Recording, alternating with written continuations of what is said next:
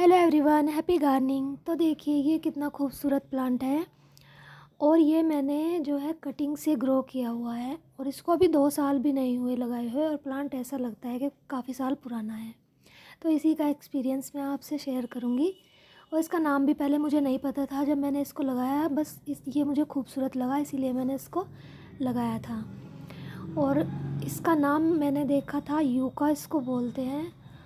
और ये प्लांटर जो है, ये मैंने पाँच साल पहले बनाया था और देखिए इसकी हालत कैसी हो गई थी। बंदर ने इसको तोड़ डाला था, फिर भी मैंने इसको रिपेयर कर लिया था। सीमेंट के छोटे छोटे बॉल बना करके मैंने इसकी किनारियाँ सेट कर दी थी।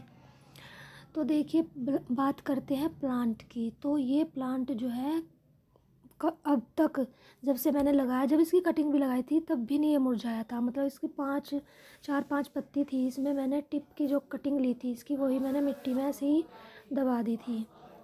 एक से दो इंच मैंने इसको मिट्टी में दबा दिया था।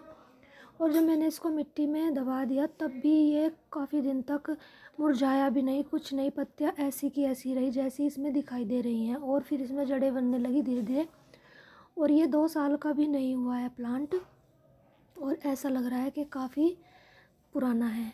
तो इसकी ग्रोथ बहुत अच्छे से हुई है और जो नीचे की पत्तियाँ ज़्यादा नीचे हो जाती हैं, वो मैं इनकी निकालती रहती हूँ इस प्लांट की, क्योंकि उनकी टिप ब्राउन होने लगती है जब ज़्यादा पुरानी सी पत्ती हो जाती है और पत्तियाँ रेगुलर निकालता रहता है, ऐसे नहीं कि इसकी ग्रोथ रुक जाती है। तो देखिए, मैंने इसकी मिट्टी निकाल दी है अभी। मुझे दस से पंद्रह मिनट लगे इसकी मिट्टी निकालने में, क्योंकि मुझे इसको दूसरे प्लांटर में लगाना है। गहराई वाले प्लांटर में लगाना है, इसकी गहराई ज़्यादा नहीं है। तो देखिए, इसकी जड़ें दिखाती हूँ मैं आपको। इसकी जड़ों में ऑलरेडी पानी स्टोर रहता है। देखिए देखिए कैसी इसकी जड़ें होती हैं, ऐसे बीचने से इसमें से पानी सा निकलता है। और मैंने इसकी मिट्टी जो है निकाली है प्लांट की, बहुत मुझको दस से पंद्रह मिनट लगे इसकी मिट्टी निकालने में, क्योंकि ये खींचने से नहीं निकल रहा था प्लांट इसमें से। तो देखिए किस तरीके से पानी है सभी जड़ों में, इस तरीके से कैसी जड़ें हैं देखना। जड़ों पर एक कवर सा होता है और उसमें भी कितना पानी स्टोर रहता है। तो इसको पानी की तो खास ज़रूरत होती ही नहीं और देखो कितने दिन तक भी, अगर जो एक महीना तक भी इसको पानी नहीं देते, तब भी ये प्लांट वैसा का वैसा ही रहता है। तो इस तरह के प्लांट जो है, होने भी चाहिए क्योंकि बंदरों से ना मैं बहुत ज़्यादा तंग आ गई हूँ, बहुत ज़्यादा मेरे प्लांट को इतना नुकसान पहुँचाया फ्लावरिंग प्लांट सब ख़त्म कर दिए हैं।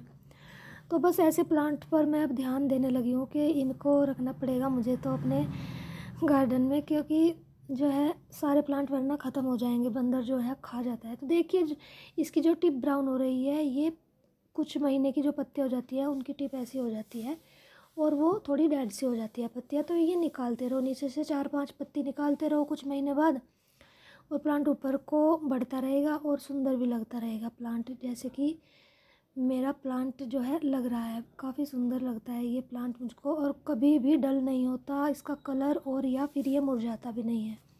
तो देखिए इसकी पत्तियाँ जो है इतनी चुभती नहीं है कि भाई पास से निकले तो चुप जाएँगी, ऐसा कुछ नहीं है। सॉफ्ट है, नई पत्तियाँ तो जो पुरानी पत्तियाँ हैं, जो थोड़ी सूख जाती हैं, जिनकी टिप वो ही थोड़ा लगती है कि चुप जाएँगी, तभी उनको रिमूव कर देना चाहिए, निकाल देना चाहिए कट करके।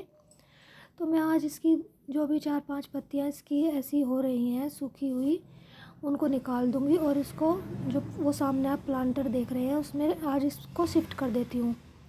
क्योंकि जिस प्लांटर में लगाया, इसकी गहराई ज़्यादा नहीं है और उसकी गहराई ठीक ठाक है।